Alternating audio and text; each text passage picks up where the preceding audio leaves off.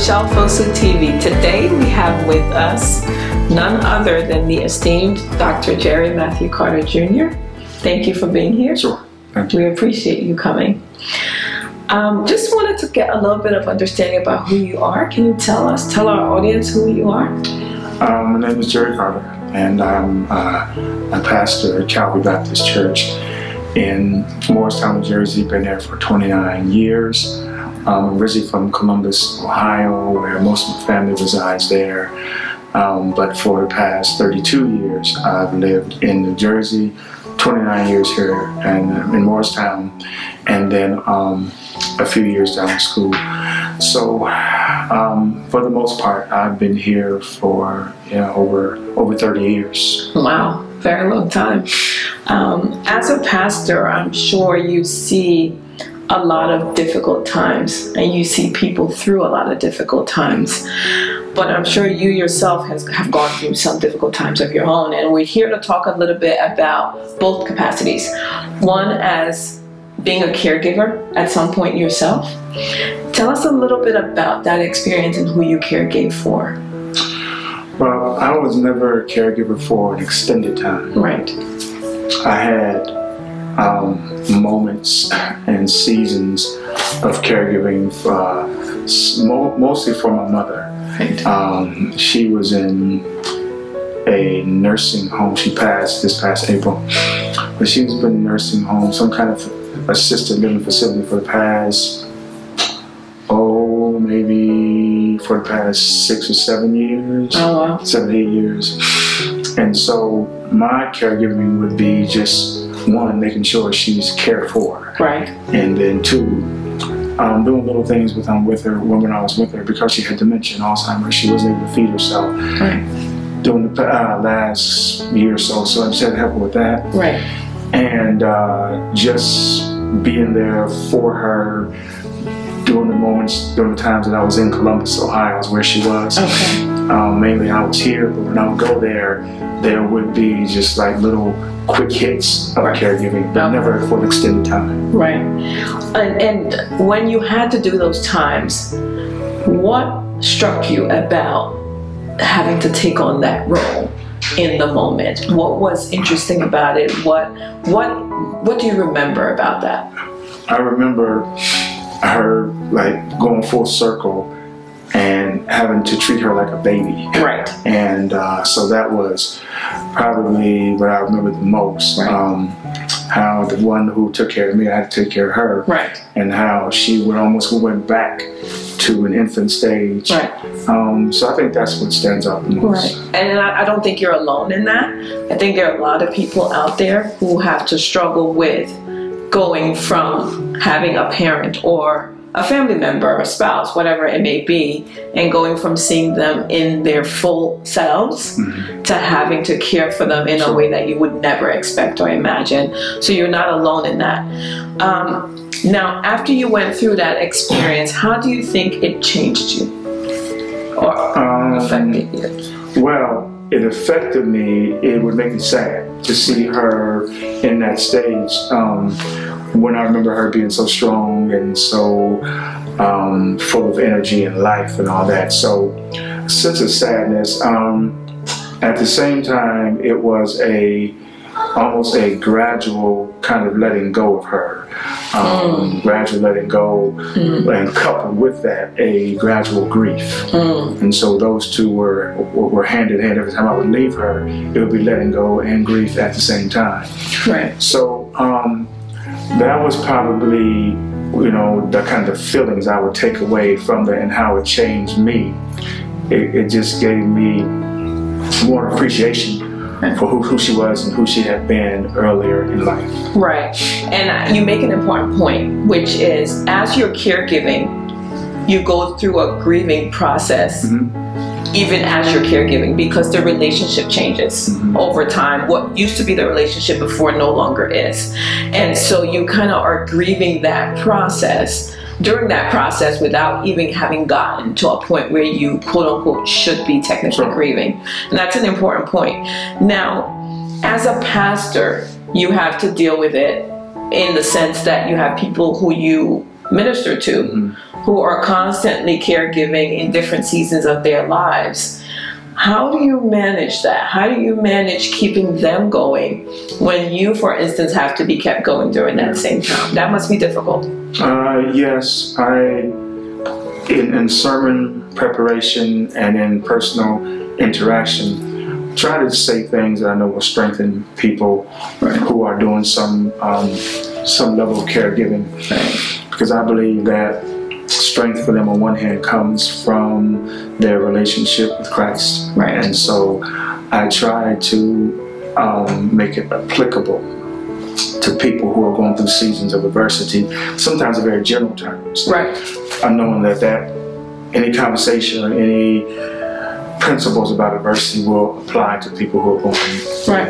and caregiving. Then the other thing I do is just sometimes just ask in personal conversations, how's your mother doing? How's your father doing? How's your husband and wife doing? Just so they know that there is someone who cares and who is inquiring Right. because that in itself communicates communicates strength.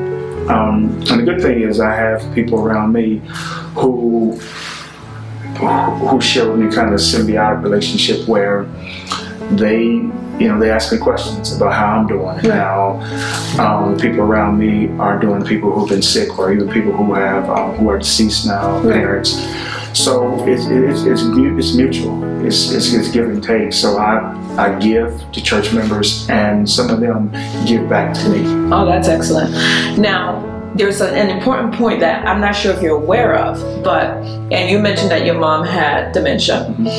A lot of um, what I've come to learn is within the African American community, African American women and Latino women are twice as likely to suffer from dementia as are Caucasians. Um, still don't understand the reason yet for why that is. But it, it's interesting because I think, particularly for your community, for instance, it becomes important, uh, especially with the baby boomer generation retiring. We're going to see a higher level of that happening, and therefore a higher level of caregiving needed. How are you going to address that as a ministry within your church? What do you see for that? Um, I think the one of the things that we can do is we have a what's called a Golden Years Ministry at our church, and we can be more um, intentional about educating um, people who are growing older, as well as their their their children Right. and their their spouses who will be having to caregive for them. I think the main thing we can do is to educate, um, to bring in experts Right. to help people know what to prepare for Right. and how to um, relate to people who are dealing with Alzheimer's and or dementia um, because I think knowing how to relate to them is going to be critical Right. uh, because as a caregiver, especially for somebody who's um, who's who's losing some of their mental capacity, it's very difficult and it's very it's very easy to get impatient Right. and angry at them Right. when you don't remember stuff and all Mhm. that. So I think as a ministry we can um, educate again and to mold and shape people to be ready for when it comes. Right. No, that's great.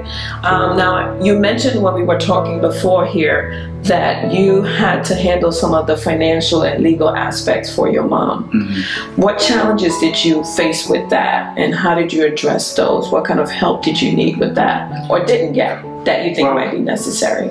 I, I think again, had I known some some information before I had to know it, Right. that would have been better than me having to um, rush to get to know what agencies to talk um, Right. to connect with and um, uh, prep myself for the I mean hours of paperwork and going from this place to that place.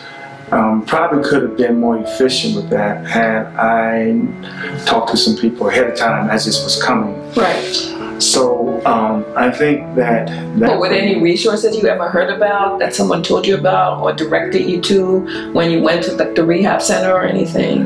Um, between myself and my oldest brother, Mhm. my oldest brother would, would he would get most of the information, Okay. pass it on to me, and tell me what he needed help with. Okay. So I wasn't the one who was in direct contact Okay. with getting this information, but I did hear him um, lamenting the fact that it was so much paperwork, Right. and sometimes you got to run around to go from this agency. No, we're, we're the wrong ones. Go here. Right. No, we're the wrong ones, and go go, go back to there. Right. So I just wish that the whole process of getting financial help, for instance, Right. um, from you know Medicare and all, was was uh, was simpler. Right. And so so yeah, I learned in that process of just how complicated that whole thing can be. Could be. Yeah. Just to bring it up a little bit. I don't know if you have a funny story that you can think of that you'd like to share. Um, just a funny memory. Sometimes these things become funny after the fact, but not in the moment. So. Um, I think the only thing that comes to mind is periodically I would, in order to, I don't know, add a little excitement to my mom's life, I would take her in a wheelchair and I would roll around the hallways really fast, Right. and she would smile because it would be like some recreation for her. Right. It would be like I would just, uh, you know, and then sometimes I would take her outside and I would do the same thing on the sidewalk out in front of the facility. And I would take her out, roll her real quickly, I would give her some sun- some some sun, and I would just try to push her as fast as I can, as safely as I could. Right. Well, and she would and she would laugh and she would look back at me like I was doing something crazy. Right. Um, but one day, as, as I was doing it, I I kind of hit. There was a little ridge in the sidewalk. Kind of hit that, and she um, kind of was like flipped up a little Oh bit, my gosh. and almost fell out the wheelchair until I took it back uh, real quickly. And so I was looking around, make sure no one saw me. But to her, that was fun, and a little excitement to her life. So Right. that's probably the probably the thing that, that comes to mind. That's a great story. Mm. Thanks for sharing it. Anything you want to say to caregivers out there um, that I may have not asked or you think is necessary or important, maybe about their faith, something, I'm not sure. Yeah. Well, I would um, simply say that this is definitely a part of life and that um, God cares for people through people. And so God uses you to actually do God's work, whether you're conscious of it or not, because God cares for people and um, God does it through other people. He doesn't always do it directly.